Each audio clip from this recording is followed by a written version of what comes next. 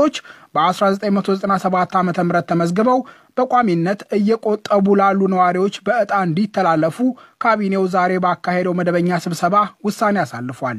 በሕገ ወጦች የተያዙ የቀበሌ ቤቶች ግልጽ በሆነ መስፈርት ለድሆች፣ ለአቅመ ደካሞችና ለተለያየ ችግር ለተጋለጡ የከተማው ነዋሪዎች እንዲሰጡ ተወስኗል። በተመሳሳይ በሕገ ወጥ መንገድ የተያዙ የቀበሌ የንግድ ቤቶች በዕጣ ለስራ አጥ ወጣቶች ይተላለፋሉ ተብሏል። የከተማ አስተዳደሩ ከዚህ ቀደም 850 ብር የነበረው የመምህራን የመኖሪያ ቤት አበል ወደ 3000 ብር ከፍ እንዲልም ወስኗል ተብሏል። ይህ ዶይቸ ቨለ ነው። ኢትዮጵያ ህወሀት ስልጣን ላይ በነበረባቸው ዓመታት ተፈጽመዋል የተባሉ ወንጀሎችን ልትመረምር መሆኑን ጠቅላይ አቃቢ ሕግና የፌዴራል ፖሊስ ኮሚሽን ትናንት በሰጡት ጋዜጣዊ መግለጫ አስታወቁ። የኢትዮጵያ ምክትል ጠቅላይ አቃቢ ሕግ አቶ ፍቃዱ ጸጋና የፌዴራል ፖሊስ ምክትል ኮሚሽነር አቶ ዘላለም መንግስቴ ለሶስት ወራት የተካሄደ የምርመራ ውጤትን አስመልክቶ ትናንት አርብ ማብራሪያ ሰጥተዋል። ባለስልጣናቱ እንዳሉት ምርመራው ጥቅምት 24 ቀን በሰሜን እዝ ላይ ጥቃት ከመፈጸሙ በፊት የተደረጉ ዝግጅቶችና በማይካድራ የተፈጸመውን የጅምላ ጭፍጨፋ ያካተተ ነው። ጥቅምት 24 ቀን ጥቃት ተፈጽሞ የትግራይ ክልል ከፌዴራል መንግስቱ ውጊያ ውስጥ ከመግባቱ በፊት ህወሀት መራሹ አስተዳደር በሉቴናንት ጀኔራል ታደሰ ወረደ የሚመራና ስድስት ምክትል አዛዦች ያሉትን የትግራይ ማዕከላዊ command ለማዋቀሩ በምርመራ እንደተደረሰበት ምክትል ጠቅላይ አቃቤ ህግ ፍቃዱ ጸጋ ተናግረዋል። የትግራይ ማዕከላዊ command ወይንም መከላከያ council የሚል ካቋቋመ በኋላ ስምንት እዞች ያሉት ስምንት ግንባሮችን ነው ለማደራጀት የሞከረው። በስምንት ግንባሮች 23 ሬጅመንቶች ያሏቸው አደራጀቱን ፈጽሟል። ይሄ ለልዩ ኃይሉ ብቻ ነው። ከመከላከያ የተመለሱ ጡረተኛ የነበሩ የከዱ እነዚህም ብቻ የያዘ ነው። ሚሊሻውን የያዘ አይደለም። ከትግራይ ክልላዊ መንግስት 23 የካቢኔ አባላት መካከል 13ቱ በተገኙበትና ጥቅምት 14 በተካሄደ ስብሰባ አቶ ፍቃዱ እንዳሉት በየትኛውም ሰዓት ጦርነት ሊጀምሩ የሚችሉ መሆኑን ተሰብስበው ለመወሰናቸው በምርመራው ማረጋገጫ ሰነድ ተገኝቷል። ይህ ጥቅምት 24 ቀን በሰሜን እዝ ላይ ጥቃት ከመፈጸሙ ከአስር ቀናት ገደማ በፊት መሆኑ ነው። ምክትል ጠቅላይ አቃቢ ሕግ ፍቃዱ እንዳሉት በኤፈርት ስር የሚገኙ ድርጅቶች ምሽጎች በመቆፈር ተሳትፎ ማድረጋቸው በምርመራው ተረጋግጧል። በትናንትናው መግለጫ ጥቅምት 24 ተቀራራቢ በሚባሉ ሰዓቶች በመቶ ቦታዎች ጥቃት መፈጸሙን ምርመራችን አሳይቷል ሲሉ ምክትል ጠቅላይ አቃቢ ሕጉ ተናግረዋል። በትግራይ መስተዳድርና በፌዴራል መንግስቱ መካከል በይፋ ውጊያ ከተቀሰቀሰ በኋላ የቀድሞው የኢትዮጵያ የውጭ ጉዳይ ሚኒስትር ስዩም መስፍንና አቶ አባይ ፀሐዬን ጨምሮ የህወሀት ከፍተኛ ሹማምንት መገደላቸውን የኢትዮጵያ ጦር አስታውቋል። አቶ ስብሃት ነጋን ጨምሮ ከፍተኛ የፓርቲው መሪዎች በቁጥጥር ስር ውለዋል። የኢትዮጵያ ፌዴራል ፖሊስ ምክትል ኮሚሽነር አቶ ዘላለም መንግስቴ እንደተናገሩት 96 የህወሀት አመራሮችን ጨምሮ የእስር ማዘዣ ከወጣባቸው 349 ተጠርጣሪዎች መካከል 124ቱ በቁጥጥር ስር ውለዋል። ይህ የመከላከያ ሰራዊትና የፌዴራል ፖሊስ አባላት የነበሩ የጸጥታ አስከባሪዎችን ይጨምራል። በድምሩ 349 ተጠርጣሪዎች ላይ ጡረተኛም አክቲቭም የሆነ በዚህ ጉዳይ ከፌዴራል ፖሊስም ተወሰነ ደረጃ ያሉበት መከላከያም ያሉበት እና የፓርቲና የፖለቲካ ቁልፍ አመራሮች ያሉበትን መያዣ ትዕዛዝ በፍርድ ቤት ስርዓትና ሕጉን በተከተለ መንገድ በማውጣት የማደን ስራ ከአገር መከላከያ ሰራዊት ከፌዴራል ፖሊስ ጋር በመሆን ሌሎች የጸጥታ አካላትንም በማሳተፍ ጭምር የማደን ስራው ሲከናወን ቆይቷል። በዚህ መሰረት 124 ተጠርጣሪዎች እስካሁን በሄድንበት ርቀት በቁጥጥር ስር የዋሉ ሲሆን ሌሎች በተደረገው ሕግ የማስከበር ዘመቻ ከጥቅም ውጭ የሆኑበት ሁኔታ ነው ያለው። ምክትል ጠቅላይ አቃቢ ሕግ ፍቃዱ ጸጋ እንዳሉት በህወሀት ተፈጽመዋል የተባሉ ወንጀሎችንና ጥፋቶችን የሚመረምር ግብረ ኃይል ተቋቁሟል። ግብረ ኃይሉ ተጠሪነቱ ለጠቅላይ አቃቢ ሕግ መስሪያ ቤቱ ሲሆን ፌዴራል ፖሊስ፣ የኢትዮጵያ መከላከያ ሰራዊትን ጭምር ያካተተ ነው። በሂደት በሰሜኑ የሀገራችን ክፍል በቲፒኤልኤፍ አመራሮች የተፈጸሙ ወንጀሎችን የሚመረምር ግብረ ኃይል እንዲቋቋም ስላደረግን ይሄ ግብረ ኃይል ላለፉት 27 ዓመት ስልጣን ላይ በነበረበት ጊዜ ይሄ ቡድን የፈጸመውን ወንጀል የሚመረምርበት ይሄ ቡድን የዘረፈውን ሀብት በተቻለ መጠን ለሀገር የሚያስመልስበት ሁኔታ እንዲኖር የማድረግ ስራ እንሰራለን። ፈረንሳይ በትግራይ ያለው የሰብአዊ ሁኔታና የምግብ ቀውስ እንደሚያሳስባት አስታወቀች። የፈረንሳይ ውጭ ጉዳይ መስሪያ ቤት ትናንት ማምሻውን ባወጣው መግለጫ የህጻጽና ሺመልባ የስደተኞች መጠለያ ጣቢያዎችን ጨምሮ የተባበሩት መንግስታትና የግብረ ሰናይ ድርጅቶች በትግራይ መንቀሳቀስ እንዲፈቀድላቸው ለኢትዮጵያ መንግስት ጥሪ አቅርቧል። ከባድ የሰብአዊ መብት ጥሰት መፈጸሙን የሚጠቁሙ ተደጋጋሚና ወጥ ሪፖርቶች ቸል ሊባሉ አይገባም ያለው የፈረንሳይ የውጭ ጉዳይ መስሪያ ቤት የኢትዮጵያ መንግስት ለገለልተኛ ምርመራ ሁኔታዎችን እንዲያመቻችና ውጤቱ ይፋ ሲሆንም ህጋዊ እርምጃ እንዲወስድ ጥሪ አቅርቧል። ከትግራይ ነባራዊ ሁኔታ ሌላ ኢትዮጵያ ሱዳን ኢትዮጵያና ሱዳን በሚዋሰኑበት የድንበር አካባቢ የተካረረው ውጥረት ፈረንሳይን እንደሚያሳስባት የውጭ ጉዳይ መስሪያ ቤቱ በመግለጫው አስታውቋል። ውጭ ጉዳይ መስሪያ ቤቱ እንዳለው ሁለቱ አገሮች ማናቸውንም ወታደራዊ ግጭት አስወግደው ውዝግቡን በውይይት ሊፈቱ ይገባል። ኢራን በኑክሌር የጦር መሳሪያ ግንባታ መርሃ ግብሯ ላይ ከልዕለ ሀያላኑ ጋር አዲስ ድርድርም ሆነ ለውጥ ለማድረግ ፈቃደኛ እንዳልሆነች አስታወቀች። የኢራን ውጭ ጉዳይ ሚኒስቴር የመንግስቱን አቋም ያስታወቀው የፈረንሳይ ፕሬዚዳንት ኤማኑኤል ማክሮ በድርድሩ ሳውዲ አረቢያ መካተት አለባት የሚል ሀሳብ ካቀረቡ በኋላ ነው። የኢራን ውጭ ጉዳይ ሚኒስቴር ቃል አቀባይ ሳኢድ ካፕቲዛዴህ ከዚህ ቀደም አገራቸው ከልዕለ ሀያላኑ ጋር የፈረመችው ስምምነት በተባበሩት መንግስታት የጸጥታ ጥበቃው ምክር ቤት የጸደቀ ድርድር የማይደረግበት ፈራሚዎቹም በግልጽ የሚታወቁና የማይቀየሩ ናቸው ብለዋል። አሜሪካ ከስምምነቱ አፈንግጣ ከወጣች በኋላ ኢራን የምታብላላውን የዩራኒየም መጠን ከፍ በማድረግ ውሉን መተላለፍ ጀምራለች እየተባለች ትከሰሳለች። አዲሱ የፕሬዝዳንት ጆ ባይደን አስተዳደር ስምምነቱን መልሶ ለመቀላቀል ፈቃደኛ መሆኑን ገልጿል። ይሁንና ውሉን ማክበር ይኖርባታል። ሳውዲ አረቢያና የተባበሩት አረብ ኤሚሬቶች በውሉ ላይ በሚደረግ አዲስ ድርድር መሳተፍ እንደሚፈልጉ አስታውቀዋል። ይህ ዶይቸ ቨለ ነው።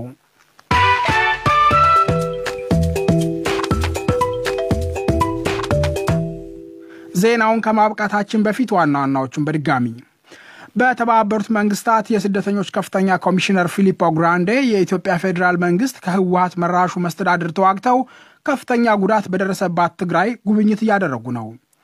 ኢትዮጵያ የመንግስት የልማት ድርጅቶችን ዕዳ ተረክቦ የሚያስተዳድር ኮርፖሬሽን ልታቋቁም ነው።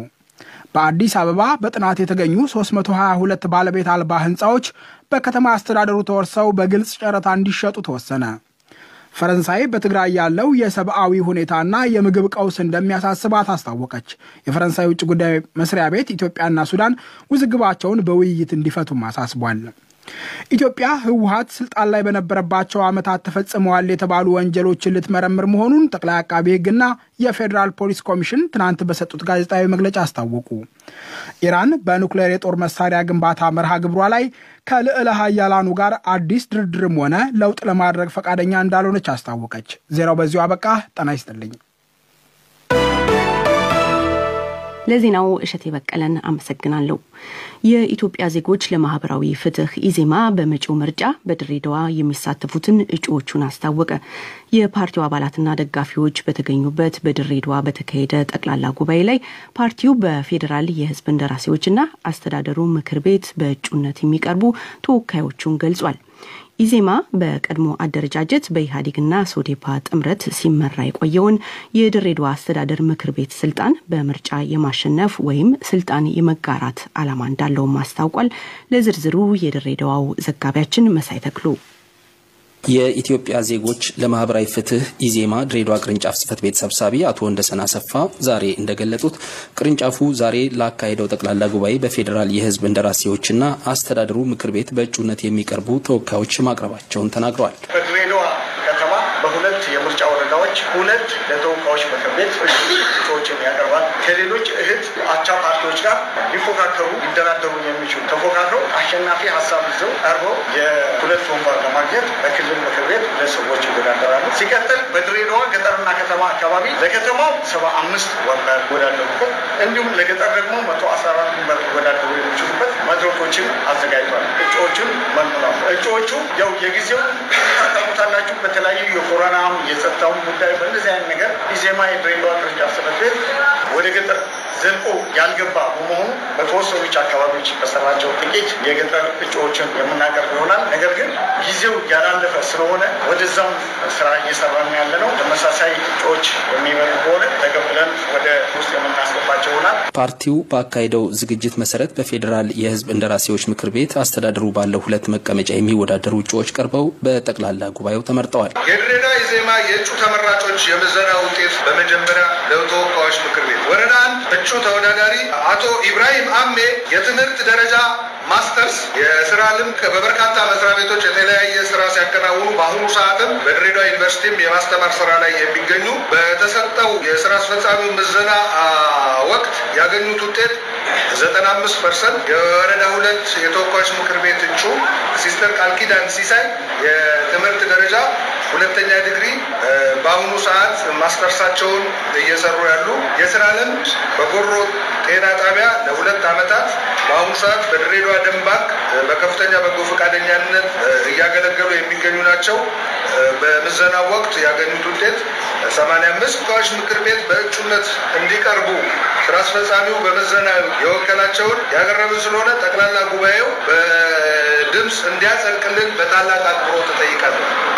በተመሳሳይ 189 መቀመጫ ባለው የአስተዳደሩ ምክር ቤት ሙሉ በሙሉ በመወዳደር ስልጣን የመያዝ እቅድ እንዳለው የገለጠው የኢዜማ ድሬዳዋ ቅርንጫፍ ጽህፈት ቤት በከተማ 65 በገጠር አስር እጩዎችን አቅርቦ አጸድቋል። በድሬዳዋ ከተማ እንወዳደራለን ሙለው ሙሉ አቅማቸውን ሙሉ ፍላጎታቸውን እና ተነሳሽነታቸውን ያሳዩን በከተማ ውስጥ ስልሳ አምስት ሰዎች ነው። አይደንቅም? አይደንቅም? እንዳውም ለመቶ ሰማንያ ዘጠኝ ወንበር ሁለት መቶ ሶስት መቶ ቀርቦልን እንደው እንደ ቅድም እንዳልኩት በውጤት በምዘና ነበር መለየት የነበረብን። ሆኖም ግን ብዙ ሰው አልወጣም። ለምን አልወጣም? ቅር አንሰኝም። ትግሉ ይቀጥላልና እስካሁን ባለው ግን እነዚህ ስልሳ አምስት ጀግኖች ድሬዳዋን ወክለን በድሬዳዋ ምክር ቤት ትክክለኛው ፉክክር አድርገን እናሸንፋለን ብለው ቁርጠኛ የሆኑ ወንድሞች ናቸው። በቀድሞ አደረጃጀት በኢህአዴግና ሶዴፓ ጥምረት ሲመራ የቆየውን የድሬዳዋ አስተዳደር ምክር ቤት ስልጣን በምርጫ የማሸነፍ ወይም ስልጣን የመጋራት ዓላማ እንዳለው የገለጠው ኢዜማ በቀጣዮቹ ጥቂት ጊዜያት የአስተዳደሩ ምክር ቤት ተወዳዳሪዎች እጩዎችን ቁጥር በመጨመር ውጤት ለማምጣት እንደሚሰራ ገልጧል። በሌላ በኩል የብልጽግና ፓርቲ ድሬዳዋ ቅርንጫፍ ጽህፈት ቤት ትናንት ለክልሉ የመንግስት ሚዲያ በሰጠው መግለጫ በተመሳሳይ የእጩዎች ምልመላ ማጠናቀቁን አስታውቋል። ለዲደብሊው ዘገባ መሳይ ተክሉ ድሬዳዋ። አድማጮች በነገው ዕለት ከዜና በኋላ የህወሓት ከፖለቲካ መድረክ መሰረዝ ተስፋ ወይስ ተግዳሮት በሚል ርዕስ ውይይት ይኖረናል። ተከታተሉን። አሁን ከእናንተው የደረሱ መልእክቶች ወደሚስተናገድበት የአድማጮች ማህደር ክፍለ ጊዜ አልፋለሁ።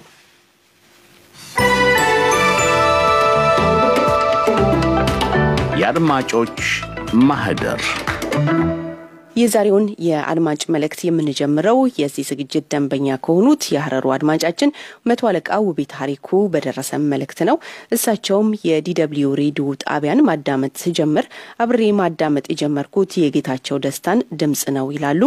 ከዲደብሊዩ ሬዲዮ ጣቢያ ጋርም ለአመታት እንድዘልቅ ያደረገኝ አንዱ የእሱ ድምጽ ይመስለኛል። በተለይ በ1980 ዓ ም አምባላጌ ትግራይ በነበርኩበት ጊዜ ዓለምን የማይበት መነጽር ዲደብሊው ነበር። ይህንን ሳስታውስ ደግሞ ጌታቸው ደስታን እንዳስታውስ ያደርገኛል። ጌታቸው በጋዜጠኝነት ሙያው ባገለገለበት ዘመን ኢትዮጵያን በሁለንተናዊ መልኩን አስተዋውቋታል። የሰው ልጅ ሟች ነውና ጌታቸው ደስታም ሞተ። ጌች አንተ ተለየህን እንጂ ሞትክ አትባልም። ስራህ እስከ ዓለም ፍጻሜ በሰው ልጆች ዘንድ ሲታወስ ይኖራል። በመጨረሻም ለቤተሰቦችህ መጽናናትን፣ ለአንተ ደግሞ መልካም ረፍትን እመኛለሁ ብለዋል መቶ አለቃ ውቤ ታሪኩ። እሳቸውም በየሳምንቱ በርካታ መልእክቶች ይልኩልናል። ከጊዜ አንጻር ግን የምናስተናግደው አንዱን ነው።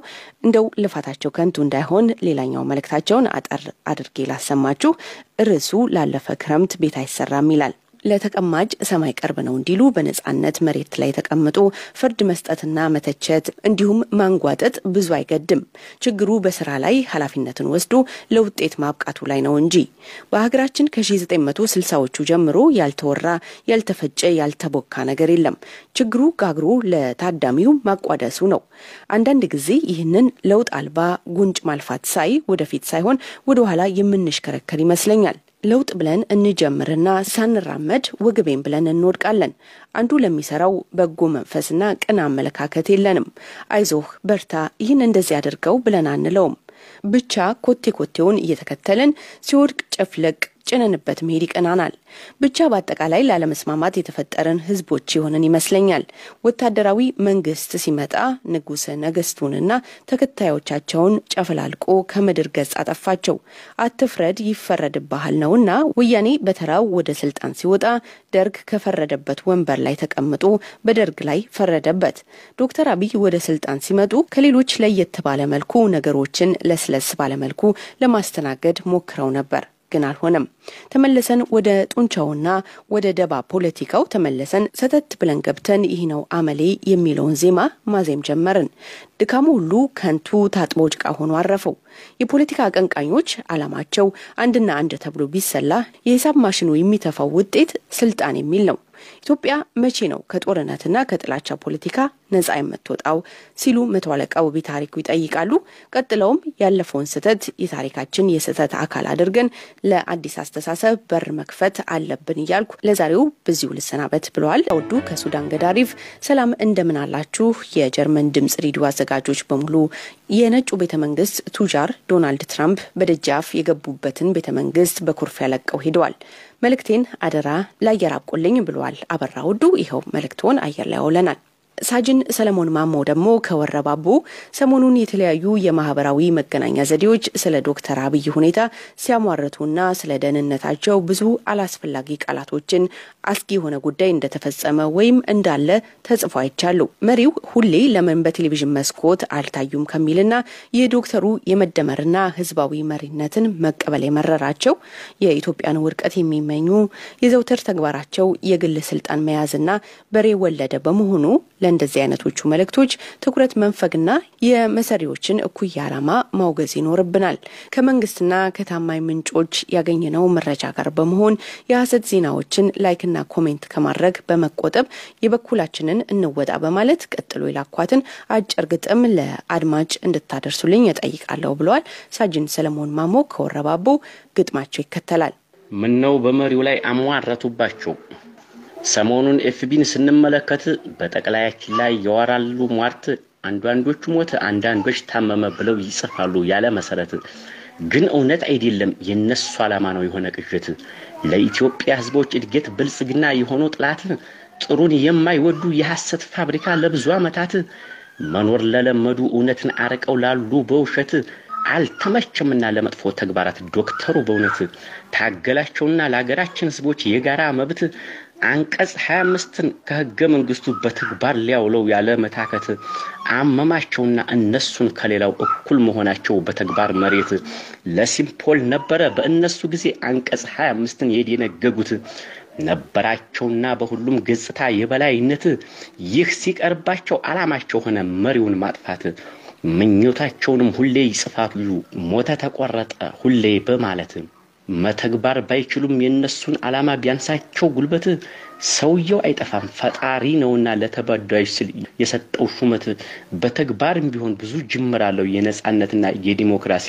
እንዲሁም ልማት ተረስተው ለኖሩ ለአናሳ ብሔሮች ትኩረት በመስጠት ያለፉት መሪዎች ያላስታወሱትን በአካል ተገኝቶ መርቷል። በእውነት እቅዱም ጥሩ ነው ለኢትዮጵያ ሕዝቦች ከተተገበረ በቀጣይ ወራት እንዲሁም ዓመት የጥፋት አካሎች ከንቱ ዓላማ ነው ተጽፎ ያየነው ባለፈው ሳምንት። ለሀገር ጥሩ አሳቢ ህጋዊ ለሆነ ጋርዱ ፈጣሪ ነው ጠንካራ ነውና ለሀገር መንግስት እንትወው እኛ የቃላት ጦርነት ባለፈው አይተናል። ለብዙ አካሎች ለህይወት መጥፋት ሁላችን እንሁን የሰላም ተምሳሌት በያለንበት ለሰላም በመስበክ ልማትን በማልማት አሻራ እናሳርፍ ለአብሯችን እድገት። አመሰግናለሁ። ሰለሞን ማሞነኝ ወረባቦ ፖሊስ ዘወትር ደንበኛ ቅዳሜ ምሽት። ሌላም በድምጽ የደረሰ መልእክት አለ። ጤና ይስጥልኝ ዶቼ ቬለ ሰላም ናችሁ? በያላችሁበት ሰላማችሁ ይብዛ። ስለ ካንሰር በሽታ መነሻ መንስኤ ይሆናል ተብሎ የተባለው ስለ ዲዲት የሚለው ጽሁፍ ታነበብኩ በኋላ ነው ብቅ ያልኩት ማለት ነው። ኢትዮጵያ ላይ ከዲዲቱ በላይ ካንሰር የሆነው በህዝቡ ላይ ብሔር ተኮር ያደረገ ግጭት በየቦታው ላይ የሚደረግ ጭፍጨፋ ነው። ካንሰሩ እንዲያለው ወይም ደግሞ የለም ማለት ካይሆን ከዛ በላይ ጎልቶ የታየው ይሄ ስለሆነ መጀመሪያ ጸረ ህዝቦች ብሔር ተኮር አድርገው እንደ ጀብድነት የቆጠሩ በጫካ ላይ ሆነው እንዲያውሬ በሰው ላይ ጥቃት እየፈጸሙ ያሉ ጸረ ህዝቦች እነሱ ብቻ ተተወገዱ። የዲዲቱ ይሄ መጨረሻ ቀላለሁ ከባድ የሆነብን ሃይማኖትን ተኮር ያደረገ ግጭት እያስነሱ በየቦታው ላይ ጭፍጨፋ የሚካሄድ፣ ሁለተኛ እንደገና ደግሞ ብሔርን ተኮር አድርጎ በየቦታው ላይ የጅምላ ቀብር። ይሄ ነው በጣም አሰቃቂና ዘግናኝ የሆነው።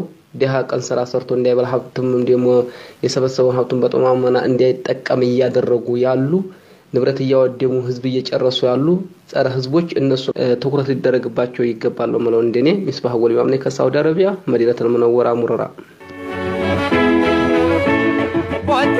dico, shakora maresa, potea dere dico, shakora maresa, bena besilengale, selanchi baosa, amaresa ozu, chichika medao, amaresa ozu, chichika medao, ichigas nesidale, harer katama. ኤስኤም የተባሉ አስተያየት ሰጪ ደግሞ የራሷ ሲያርባት የሰውን ታማስላለች አለ የአገሬ ሰው ሲተርት ይላሉ። ሰው እንደ እንስሳ እየታረደ የሚቀበርበት ጠፍቶ የአውሬ ሲሳይ የሆነ በሕይወት ያሉት የሚላስ የሚቀመስ አጥተው የመንግስት ያለ ድረሱልኝ እያሉ እየጮሁ የሚሰማቸው አጥተዋል፣ እየተሰቃዩ ይገኛሉ የሚል መልእክት አስተላልፈዋል። ጸሐፊው ቦታውን አልጠቀሱም። አቡ ሱማያ የተባሉ አስተያየት ሰጪ ደግሞ በሆሮ ጉድሩ ወለጋ ዞን በሰዎች ላይ የሚደርሰው መከራና ስቃይ ቀጥሏል። ጥር 14 ቀን 2013 ዓ ም በሆሮ ወረዳ ጫቶ ከሚባል ሰፈር ሶስት ሰዎች ተጠልፈው እስካሁን ድረስ የደረሱበት አልታወቀም ካሉ በኋላ ጸሐፊው በአካባቢው በኦነግ ሸኔ አባላት እየደረሰ ነው ያሉትን ጥፋት ይዘረዝራሉ። የሚመለከተውን አካል ጠይቃችሁ ምላሽ እንድትሰጡን ሲሉ በቴሌግራም አንድ ስማቸው እንዲገለጽ ያልፈልጉ አስተያየት ሰጪ ጠይቀውናል። እሳቸውም ከሚዛን ቴፒ ዩኒቨርሲቲ ነበር የምጽፍላችሁ እኔና መሰል ጓደኞችን ጨምሮ በተፈጥሮ ሳይንስ ፋክሊቲ፣ በቴፒ ካምፓስና በሕግ በቋንቋና በሌሎች ፋክሊቲ ሚዛን የክረምት የምንማር መምህራን ነበርን። የምረቃ ጽሁፋችንን ጨርሰን ልንመረቅ ካለም በኋላ በኮቪድ ምክንያት ተብሎ ተቋረጠ። ሌሎች ተማሪዎች ተመልሰው እየተመረቁ ሲሆን የእኛ ግን ዝም ተብሎ ቀርቷል እና እኛ በዚህ ምክንያት የደረጃ እድገት አጥተናል። ደውለን ስንጠይቅ እኛ መረጃ የለንም ይሉናል እና አጣሩልን ይላል መልእክታቸው። ለዚህ ምላሽ እንዲሰጡን የቴፒ ካምፓስ ዳይሬክተር የሆኑት አቶ በለጠ ጋር ደውለን ነበረ። ተከታዩ ምላሽ ሰጥተውናል። normally አሁን ተማሪዎቻችን ለማስመረቅ እየሰራን ያለ ነው። የተፈጠረ ነገርም አሁን በዚህ አመት ላይ ምንም የለም። summer ተማሪዎች ላይ የተፈጠረ case አለ። ምናልባት አራት ተማሪዎች ከመምህሩ አላስተማረንም የሚል sense አንስተው ከ advisor ጋር የተያዘ ሬጅስትራርም ቅሬታ አስገብተው የሄዱ ተማሪዎች አሉ። በእርግጥ ከዛ ውጭ ቅሬታ ያቀረበ እኛ ቢሮ ላይ ምንም አይነት ተማሪ የለም። አራት ሰው ቅሬታ ያቀረበ አለ። ሌላው ይመረቃል ነው የሚሉኝ። ሌሎች ተማሪዎቻችን በምንም አይነት ማስተጓጎል ምንም አይነት ማስተጓጎል ሳይፈጠር ምንም አይነት ችግር በሌለበት ሁኔታ ይመረቃሉ። መቼ ነው የሚመረቁት? ሚዛን ካምፓስ ላይ አሁን ሰላሳ ላይ ነው ጥር ሰላሳ ቴፒ ካምፓስ ላይ የካቲት ሀያ ስምንት calendar ወጥቶ በዛ መሰረት እየተሰራ ነው ያለ። እነዚህ ቅሬታ ያቀረቡ ያሏቸው ተማሪዎች በትክክል ምን ስለሆነ ነው ቅሬታ ያቀረቡት? እንግዲህ ተማሪዎች አናግሬያቸዋለሁ። ለደን ያው የቢሮ ጋር አስገብተዋል ቅሬታ። የተፈጠረው case ምንድን ነው ያሉት ከ advisor ኣቸው ጋር ኮርስ አላስተማረም እስካሁን ድረስ ሳንማር ስለቆየን አሁን calendar ኡም ስላለቀ እኛ በዚህ advisor ኣቸውም ነበረ ያው normally graduate ሊያደርጉ ነው። ሁለት ኮርስ እና አንድ thesis ነበር የሚቀራቸው። advisor ጋር የተፈጠረ ችግር ይመስለኛል። በ department ደረጃም በእርግጥ ታይቷል። department ዲኢሲም ኮሚቴ ወስኖ እንደውም ተማሪዎቹ የተማሪዎች ጥፋት እንደሆነ ነገር ነው department ነገር ነው እሱ advise የሚያደርገን ከሆነ በእሱ አንቀጥልም ብለው ቅሬታ አስገብተው የወጡ ተማሪዎች አሉ።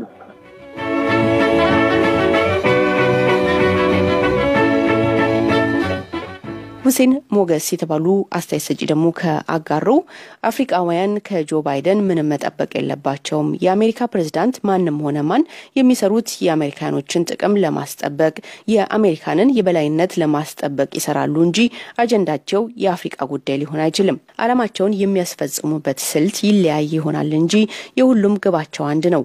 ኦባማ ፕሬዝዳንት የነበሩ ጊዜ ያውም የዘር ሀረጋቸው ከኬንያ የሆነው ሰው ሲመረጡ አፍሪቃውያን ብዙ ጠብቀው ነበር።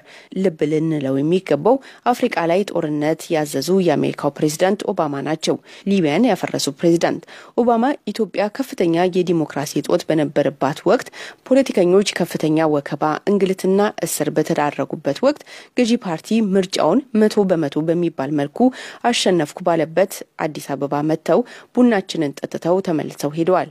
አፍሪቃውያን ከአሜሪካውያን ምርጫ መልካሙን ከምትጠብቁ ተባብሮ በመስራት ከግጭትና ከጦርነት እርስ በርስ ከመባላት ተላቀው ሰላም፣ ዲሞክራሲ የሰፈነባት እድገትና በልጽግና የተረጋገጠባት አፍሪቃን በመፍጠር እጣ ፈንታቸውን ማሳመር አለባቸው ባይነኝ ይላሉ ሁሴን ሞገስ ከአጋሮ። እንግዲህ ለዛሬ ተራ የደረሳቸው መልእክቶች የእስካሁኑ ነበሩ። አብዛኛው ወግ አጥባቂ የጎሳ ሽማግሌዎች በሚወስኑባት ሶማሊያ ሴቶች ወደ ፖለቲካ እንዲመጡ ብዙም ፍላጎት የለም። ተሳክቶላቸውም በፖለቲካ ተሳታፊ ከሆኑ ምን ያህል ፈተና እንደሚገጥማቸው ቀጥሎ በሚቀርበው ትኩረት በአፍሪቃ ዝግጅት የምንሰማት ወጣት ሶማሊያዊት ምሳሌ ናት። ከዚህም ሌላ በዚህ ዝግጅት የአውሮፓ ህብረት ለአፍሪቃ ሀገራት የገንዘብና ወታደራዊ ስልጠና መስጠት ብቻ ሳይሆን በአዲሱ ማሻሻያ የጦር መሳሪያ ማስታጠቅ መፈለጉም ትችት አስነስቷል። ለዝግጅቱ ፀሐይ ጫኔ ትኩረት በአፍሪካ ሰላም ጤና ይስጥልን። የዝግጅታችን ተከታታዮች የዛሬው የትኩረት በአፍሪቃ ዝግጅት መጪው የሶማሊያ ምርጫና የሴቶች ተሳትፎ እንዲሁም የአውሮፓ ህብረት ለአፍሪቃ ሰላም የሚያደርገውን የገንዘብ ድጋፍ የተመለከቱ ሁለት ጉዳዮችን አካቷል። አብራችሁን ቆዩ።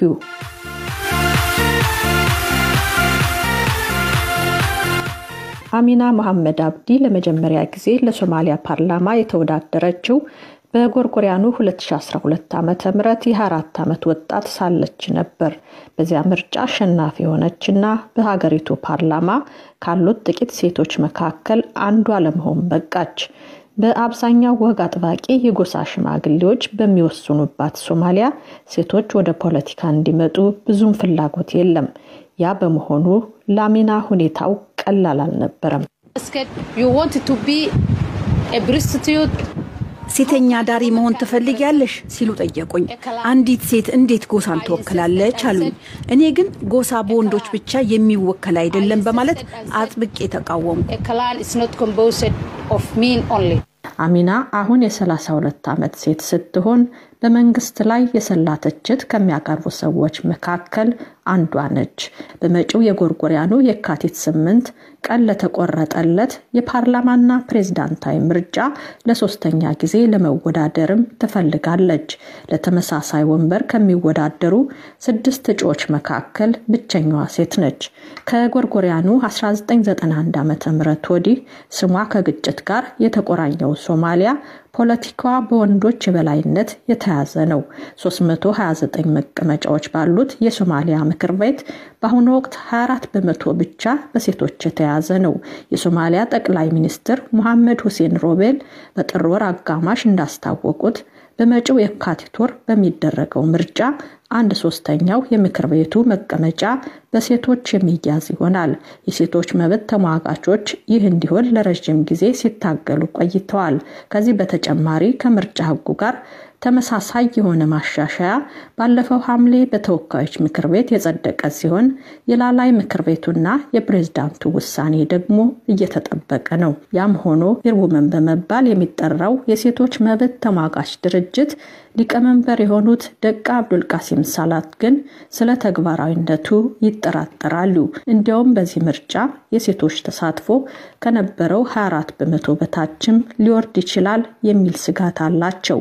ምክንያቱም በሀገሪቱ ለሴቶች የሚሰጥ ኮታ ወይም ልዩ ተጠቃሚነት እድልን በተመለከተ የወጣ ሕግ የለም። ፓርላማ ውስጥ ያሉ ሴቶችና የሲቪሉ ማህበረሰብ ማድረግ ያለባቸው የሰላሳ በመቶውን አጀንዳ የበለጠ መግፋትና በህገ መንግስቱ መጻፉን ማረጋገጥ ነው። ሴቶችና የሲቪል ማህበራት ይህንን ባለማድረጋቸው የእኛ ሴቶች ስህተት አድርጌ ነው የምመለከተው። አጀንዳውን መግፋትና በህገ መንግስት ውስጥ የተካተተ መሆኑን ማረጋገጥ ያስፈልጋል። ያ ከሆነና በህገ መንግስቱ ከሰፈረ ፖሊሲውን በቀላሉ ማፍረስ አትችልም። ነገር ግን አሁን እየተባለ ያለው ፖሊሲ ሳይሆን ምክረ ሀሳብ ነው። የቀድሞዋ የውጭ ጉዳይ ሚኒስትር ወይዘሮ ፎዚያ የሱፍ ሀጂ በበኩላቸው የልዩ ተጠቃሚነት እድል ለሶማሊያ ሴቶች አስፈላጊ እርምጃ ነው ይላሉ። ይህም ሴቶችን ወደ ምክር ቤት ለማስገባትና የሚወክሉትን የህብረተሰብ ክፍል በትክክል ለማንጸባረቅ ይረዳል ይላሉ። ፎዚያ በ2012 ዓ ም የሀገሪቱ የመጀመሪያ ሴት ምክትል ጠቅላይ ሚኒስትርና የውጭ ጉዳይ ሚኒስትር በመሆን ሰርተዋል። በአሁኑ ጊዜ ከሌሎች ኃላፊነቶቻቸው በተጨማሪ የብሔራዊ ዲሞክራሲያዊ ፓርቲ ሊቀመንበር ናቸው። ሴቶች ወደ ፖለቲካው እንዲመጡ ከፍተኛ ምኞት ያላቸው ሲሆን ወደ ፖለቲካው ሲመጡ የሚያጋጥሟቸውን ችግሮችም በደንብ ያውቁታል። ተግዳሮቶቹ በሶማሊያ ማለቂያ የሌለው ግጭት፣ የሰላምና መረጋጋት እጦት እንዲሁም ሁሉንም የልማትና ዲሞክራሲያዊ ሂደቶች ላይ ጥቃት የሚሰነዝሩ የአልሸባብ አሸባሪዎች ናቸው። ሌላው ምክንያት ለብዙ የፖለቲካ ፍላጎት ላላቸው ሴቶች የገንዘብ ድጋፍ አለመኖሩ ነው። ከዚህ በተጨማሪ የሶማሊያ አራት ነጥብ አምስት የሚባለው ፖሊሲና የሽማግሌዎች መርህም ሌላው ችግር ነው። በአራት ነጥብ አምስት ፖሊሲ መሰረት የፓርላማ አባላቱ በህዝብ የተመረጡ ሳይሆን በሽማግሌዎች የተመረጡ የጎሳ ልኡካን ናቸው። ልኡካኑ ራሳቸው የጎሳ ሽማግሌዎችን ያካተቱ ሲሆን ሰላሳ በመቶ የሚሆኑት ሴቶችና ሀያ በመቶ የሚሆኑት ወጣቶችንም ያካትታል። በሶማሊያ የሚገኙት አራት ታላላቅ ጎሳዎች በፓርላማ ተመሳሳይ ቁጥር ሲኖራቸው ትናንሽ ጎሳዎች ደግሞ ግማሹን ያገኛሉ። በዚህ የጎሳ መርህ ለብዙ ሴቶች በምርጫ ተፎካካሪ መሆን በጣም ከባድ ነው ይላሉ።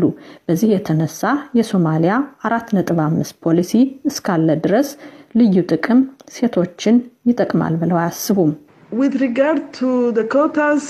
ልዩ ተጠቃሚነትን ስንመለከት የአራት ነጥብ አምስት መመሪያ በሶማሊያ እስካለ ድረስ የልዩ ተጠቃሚነት እድል ለሴቶች የሚጠቅም አይሆንም።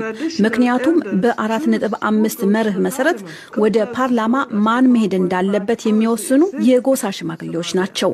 እነሱ ደግሞ ሴቶች ያንን ጎሳ ወክለው የፖለቲካ ተሳትፎ ማድረጋቸውን አያምኑበትም።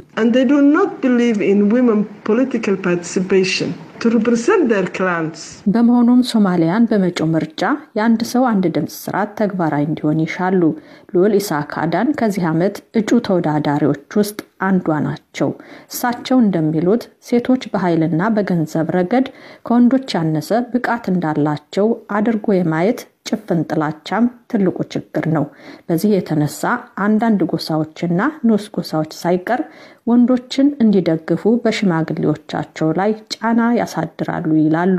ያም ቢሆን ልዑል ኢሳቅ አዳን እንደሚያሸንፉ ተስፋ ያደርጋሉ። እንደ ሩዋንዳ ባሉ ሀገራት የሴቶች ልዩ ተጠቃሚነት ተስፋ ሰጭ ለውጥ እንዲመጣ አድርጓል።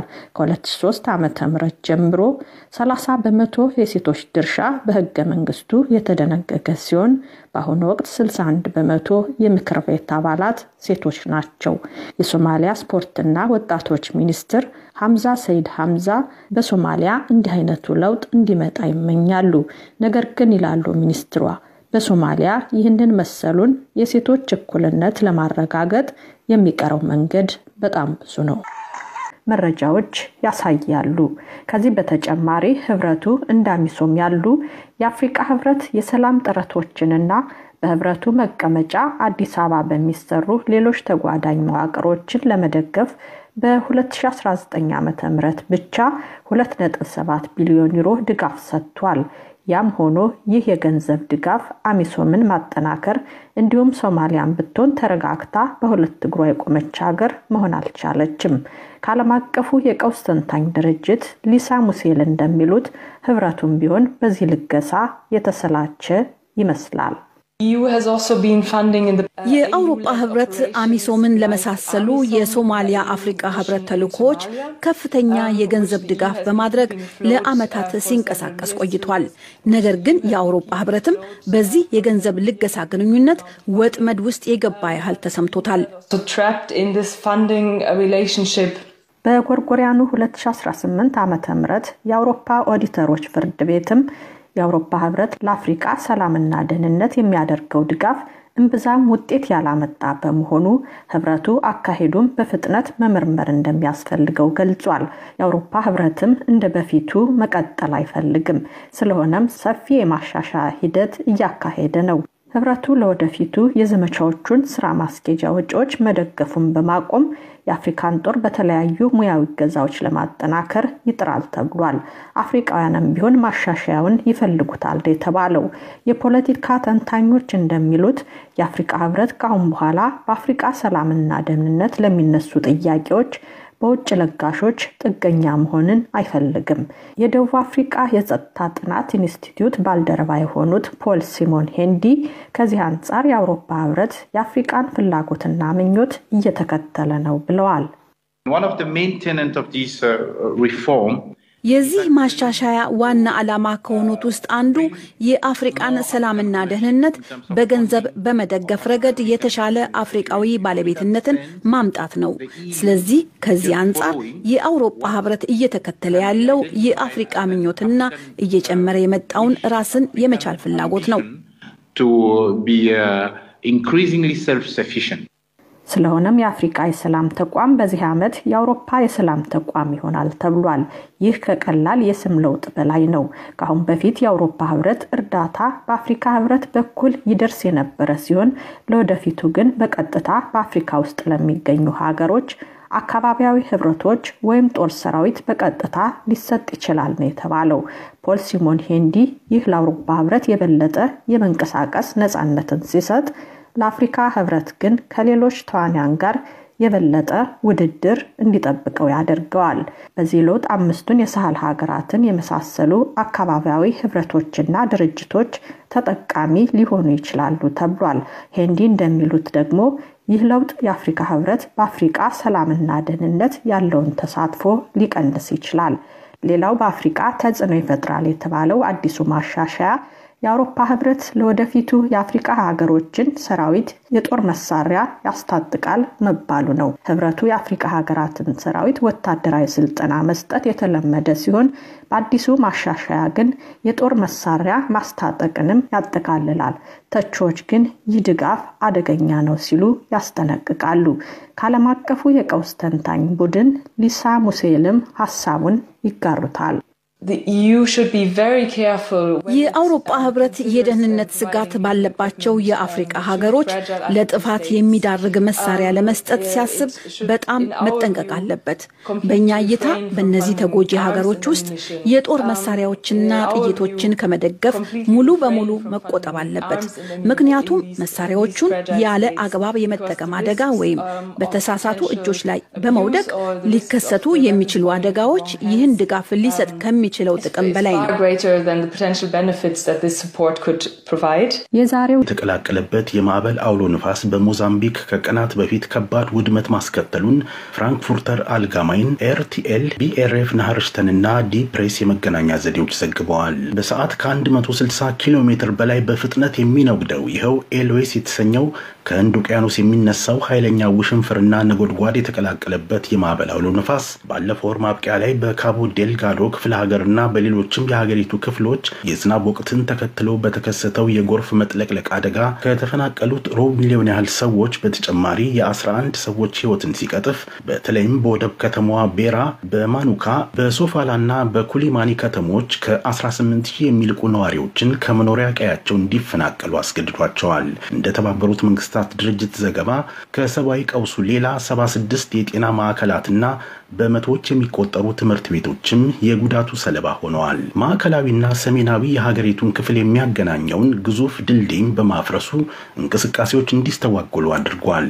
አያሌ ዛፎችንና የኤሌክትሪክ ምሰሶዎችንም ገነዳድሷል። አደጋው ለቴሌኮሙኒኬሽን፣ ለትራንስፖርት፣ ለመብራትና ለውሃ አገልግሎቶች መቋረጥም ምክንያት መሆኑ ተነግሯል። ዓለም አቀፉ የህፃናት መርጃ ድርጅት ዩኒሴፍ በማዕከላዊ ሞዛምቢክ ዘጠና ሺህ ያህል ህጻናት አስቸኳይ የሰብአዊ እርዳታና ድጋፍ ያስፈልጋቸዋል ሲል One.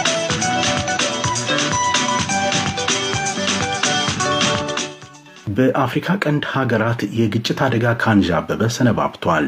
የጀርመኑ ዩንግ ቬልት ጋዜጣ ከሶስት ቀናት በፊት እንዳለው በኬንያ ድንበር አቅራቢያ በሚገኘው በደቡባዊ ሶማሊያ ከተማ በጁባላንድ ግዛትና በሶማሊያ መካከል ውጊያ ተቀስቅሶ የአስር ሰዎች ሕይወት ጠፍቷል። ዘገባው እንዳመለከተው በኬንያ ይደገፋሉ የሚባሉ የጁባላንድ ታጣቂዎች የሶማሊያን ድንበር ቡሎ ሃይዎ ከተማ አቋርጠው ከገቡ በኋላ በሶማሊያ ወታደሮች ላይ ጥቃት አድርሰዋል። የጁባላንድ ምክትል ፕሬዝዳንት መሐመድ ሰይድ አዳን ደግሞ የሶማሊያ ወታደሮች ጸጥታ በማስከበር ላይ የነበሩ የሀገሪቱ ወታደሮች ላይ ጥቃት መፈጸማቸውን ነው ያስረዱት። ሁለቱም ወገኖች እርስ በርሳቸው ከመወነጃጀል አልፈው ግጭቱን በዘላቂነት ማስቆም ባለመቻላቸው ዜጎች ጦርነቱን ሸሽተው መሰደድ መጀመራቸው ታውቋል። በውጊያው የቡሎ ሃይዎ ከተማን በሶማሊያ ቁጥጥር ስር መዋል መቻሉን መንግስት ገልጿል። የሶማሊያው ፕሬዝዳንት ኬንያ በእጅ አዙር በሀገራቸው ጉዳይ እጇን በማስገባት ችግር እየፈጠረች ነው ሲሉ ይከሳሉ። ሶማሊያ ዛሬም የቀድሞ ግዛቷን ጁባላንድ እንደ ግዛቷ አካል የምታያት ሲሆን ኬንያ በተቃራኒው ለጁባላንድ የግዛት ሉዓላዊነት ያላሰለሰ ድጋፍ ማድረጓ ግንኙነታቸውን አሻክሮታል። ሁለቱ ሀገራት በህንድ ውቅያኖስ ሰርጥ በሚገኘውና ከፍተኛ የተፈጥሮ ጋዝና የነዳጅ ክምችት በሚገኝበት 100 ሺህ square ኪሎ ሜትር የሚገመት መሬት ላይም የይገባኛል ጥያቄ በማንሳት በተደጋጋሚ ሲጋጩ መቆየታቸውን ዘገባው ጨምሮ አብራርተዋል። ባለፈው መስከረም ፕሬዚዳንት አብዱላ መሐመድ አብዱላህ በጁባላንድና በፑንትላንድ ውይይት ካደረጉ በኋላ የሶማሊያን ወታደሮች ከጁባላንድ ከጌዶ ቀጠና ለማውጣት ውሳኔ ቢደረስም እስካሁን ግን ገቢራዊ አልሆነም። ይህ በእንዲህ እንዳለ መካከለኛው የጁባላንድ ግዛት በአልሸባብ ቡድን ቁጥጥር ስር መውደቁ ለሶማሊያም ሆነ ለአካባቢው ሀገራት ከፍተኛ ስጋትን ደቅኗል።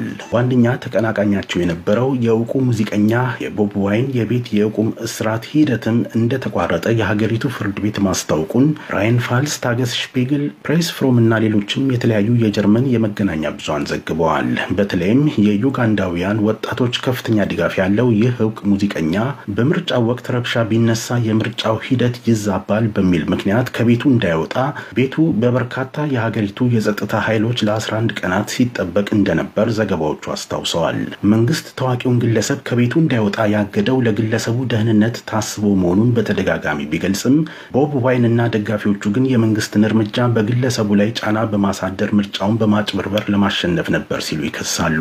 በምርጫው 34 ዓመታትን ዩጋንዳን የመሩት የ76 ዓመቱ አረጋዊ ሙሴቬኒ 59 በመቶ የድምፅ ብልጫ ሲያገኙ ተቀናቃኛቸው ቦብ ዋይን 35 በመቶ ድምፅ ማግኘቱ ተገልጿል። ሆኖም ውጤቱንም ሆነ ምርጫውን እጅግ የተጭበረበረና ተቀባይነት የሌለው ነው ሲሉ ቦብ ዋይንም ሆነ ደጋፊዎቹ ተቃውመውታል። ተስፋ የተጣለበት ዋይን በመሸነፉ ምክንያት በተፈጠረው ግርግር በርካታ ደጋፊዎቹ ታስረው ይገኛሉ።